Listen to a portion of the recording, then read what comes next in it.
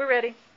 So, think about Mayella's actions regarding Mr. Robinson, and how do you think reputation standards in this small town influenced the actions that she chose to perform during and before the trial?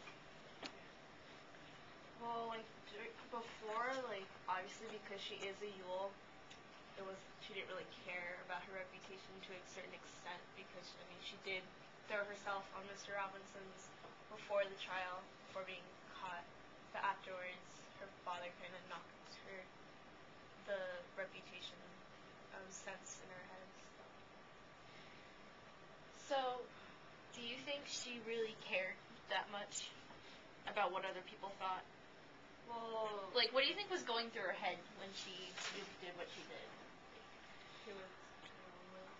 At the time, she probably didn't consider the consequences, but as like in the reputation, I mean, if you have nothing of worth to show for, all you have to rely on is your reputation. So that's probably why they value it so highly because they're not that high of a person. So that's all they have to lie back on. Now, when you say she wasn't thinking about the consequences um, beforehand, do you do you think even if she was, like, do you think she would have even understood what the consequences were? She's a very sheltered child, obviously. I mean, she doesn't. She it says, you know, in the book that she's, you know, more lonely than Boo Radley is. Well, I think that since they live in the Jim Crow law times, she knows what's gonna happen, but she's been like nobody interacts with her, so she wants some. She disregards that because she wants some form of interaction. That and she didn't think she was gonna get caught because I mean they, they note in the book that she saved up her money for like a year to like get the kids out of the house Yeah. so she can like get them to herself and wouldn't get caught. But I don't know. I think it's all based upon like her just wanting attention mainly. So, what do you think that says about her character? Is that like since she grew up in like a rough childhood, maybe she just wants all that attention now since she hasn't got it before. That, that could definitely be it. I think that, um, I think that probably subconsciously she's kind of looking for the, the kind of affection that her father never gave her. Because her father doesn't really seem to care that much. Yeah, because he was drunk. Like he's not there for her. No, he's not there for any of his children.